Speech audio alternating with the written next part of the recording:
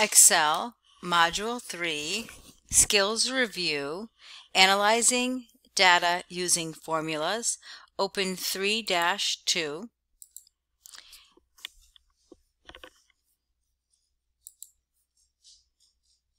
And the first thing we want to do is get a total for the first quarter revenue by adding January, February, and March. We could use the auto sum and or alt equals and then fill handle, but there's also a quick way to do this. Select all of the data that you want added and choose the quick analysis tool. Select totals. There are two sums, one where the sum would be at the bottom of each column and then sum where it's on the right. So it would be for each row, and that's the one we want. So we'll select that one. Select G2, and we're going to create a formula. And the formula is to calculate the percent of increase between the first quarter, quarter revenue currently and the previous year. So your formula will be equals parentheses the first quarter this year minus the previous quarters and then close parentheses and to find the percent divide by the previous quarter and you'll find your percent is um, it's in decimal format so choose the percent from the number group and then we'll increase it for two decimal places so it's not rounding and then we'll fill handle. Click in H 3 and we're going to create an if function which is a logical statement and what we want to do is have it look at the percentage in the in column G and if it, it meets the target 10% it would be met. If it doesn't, it would be missed. So we'll choose the fx function in the, which is insert function in the formula bar. And if you don't have um, the functions and and if, you would probably have to click the category and choose logical. But I have if here, so I'll click OK.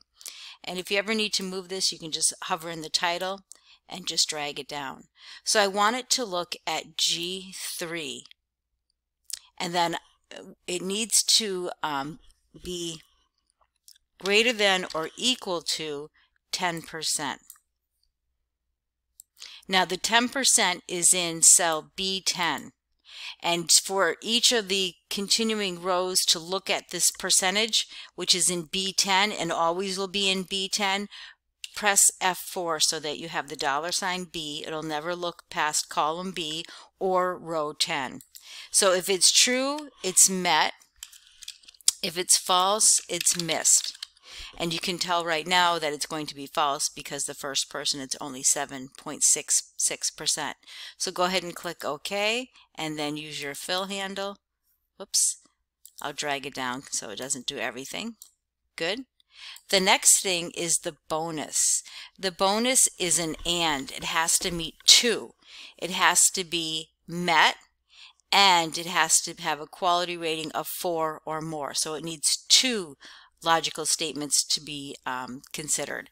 So again, fx, but this time choose and and OK. And you want it to look at H3 and it has to equal met. So when so you'll type equals, but when you want it to to um, look for a particular word, you have to um, have quotation before and quotation after. So it looks for exactly that word.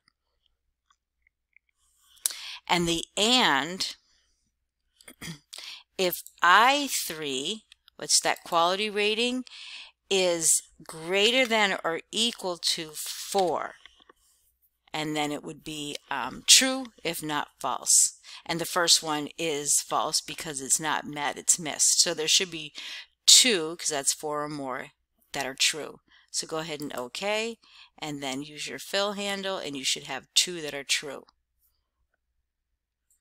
Click Insert, choose Text, the down arrow for more options, Header and Footer, and then we'll go to Footer, and in the center section type your name, and then click in any cell above it to go back to the uh, worksheet, click View, choose Normal.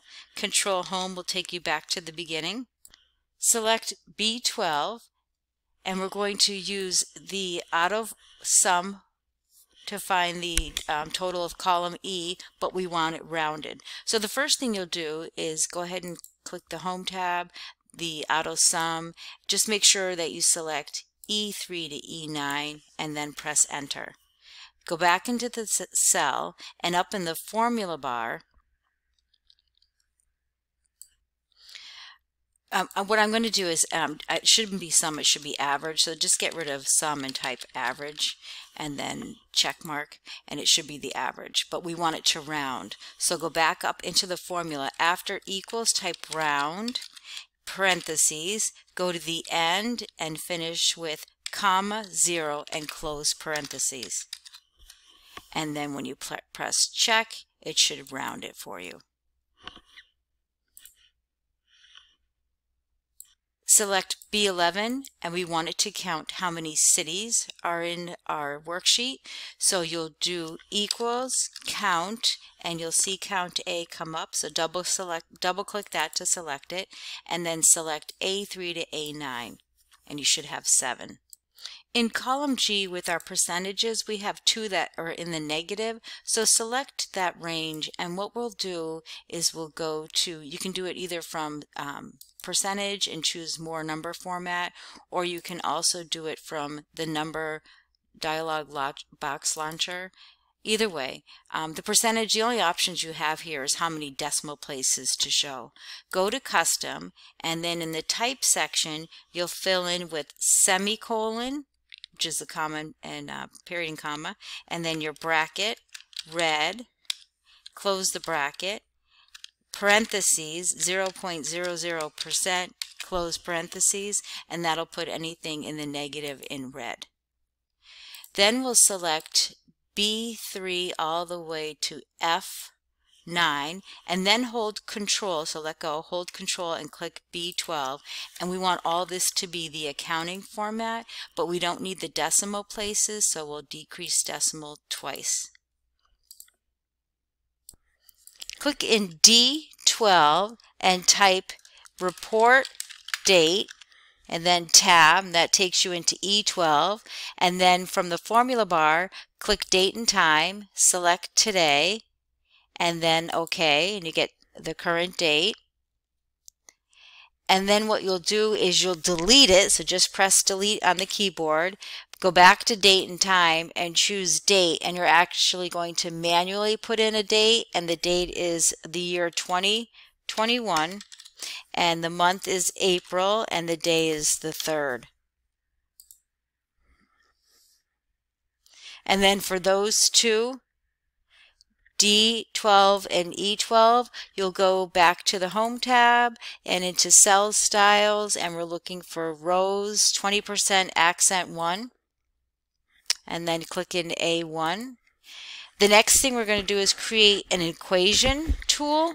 So you'll go to formu Formula Documentation um, Worksheet. So click in there, and you can click anywhere down um, below the um, text that's there. So to create a formula, click Insert and select Symbol and then click Equation, the top part of Equation so the ribbon changes.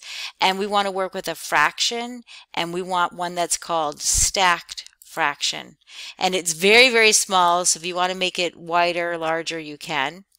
So in order to type in the top part of the fraction, the numerator, click this, the um, box so it becomes shaded and you're actually going to type the information. Um, I'll, I'll start it. So it's open parenthesis first quarter revenue. Now when it's time for minus, just press the um, hyphen key once and it automatically, and then don't press space, the, the, um, uh, the formula will do it for you.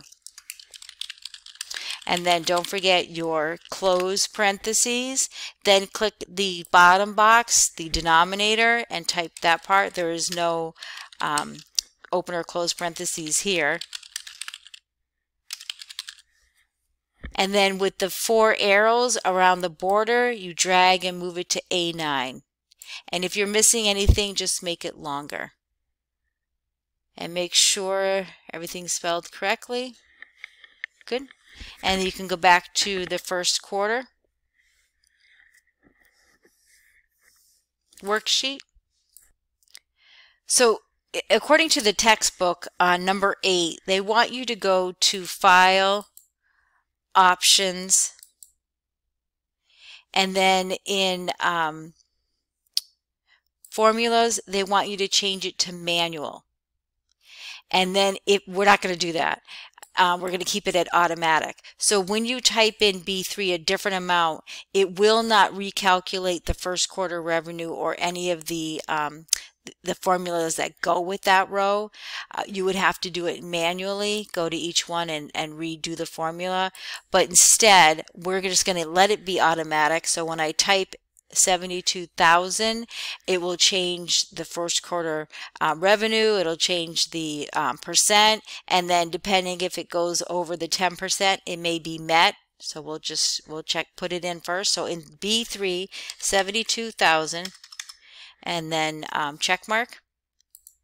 And it definitely is 13.77 is over 10%, so it is met and it's another true. And that's a save and submit. Thank you.